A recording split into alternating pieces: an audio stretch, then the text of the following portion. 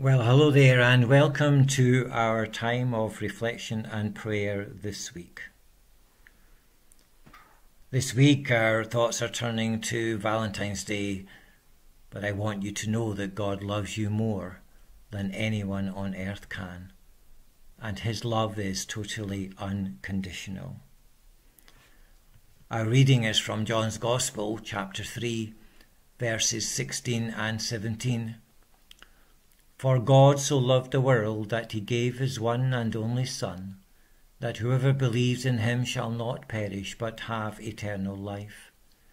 For God did not send his Son into the world to condemn the world, but to save the world through him.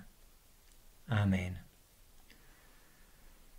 Love changes everything. The hit song from Aspects of Love states that love does indeed change everything how a person's perspective is changed when the flame of love is ignited. Hands and faces, earth and sky, days are longer and words mean more. And how when love comes to you, that nothing will ever be the same. In the coming days, many of us will recognize Valentine's Day when lovers, known and unknown, exchange cards and gifts. It's nice to receive a Valentine's card, but it can be a bit unnerving if you don't know who sent it. It's nice to be loved, but Christian love, the love of God, is very different from romantic love. It's as far removed from romantic love as the East is from the West.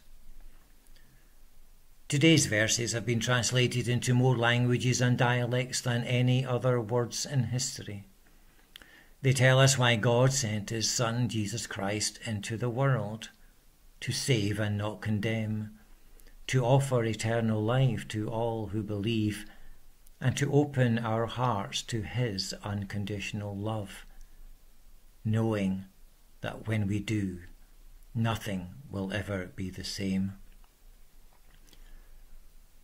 Perhaps you're thinking, I know that God can love others, but He can't possibly love me.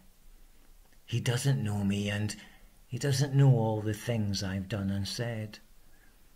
Yet the psalmist assures us that God discerns our comings and goings, our lying down, and is indeed familiar with all our ways.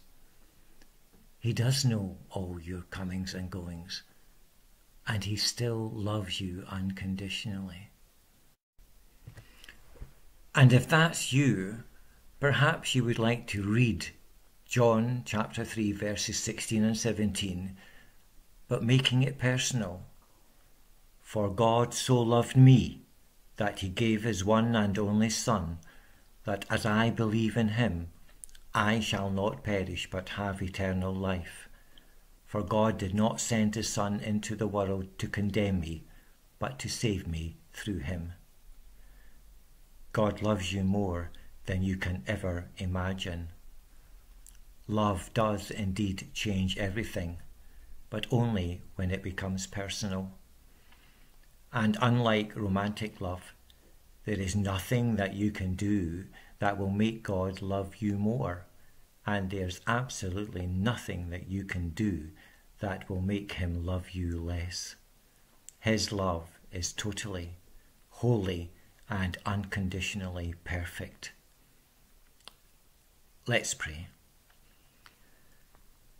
Merciful and loving God, we thank you for your unconditional love towards us. Unbidden and unsolicited, you sent your Son Jesus to demonstrate the fullness of your love by breaking down the barriers of sin that separate us from you. Lord God, we thank you that you took the initiative, opening to us true life and salvation through the cross. We acknowledge your great love for us and seek your guidance and help that we may be able to love others as unconditionally as you love us. And now let's say together the Lord's Prayer. Our Father in heaven, hallowed be your name. Your kingdom come, your will be done on earth as in heaven. Give us our daily bread. Forgive us our sins as we forgive those who sin against us. Lead us not into temptation, but deliver us from evil. For the kingdom, the power, and the glory are yours, now and forever. Amen.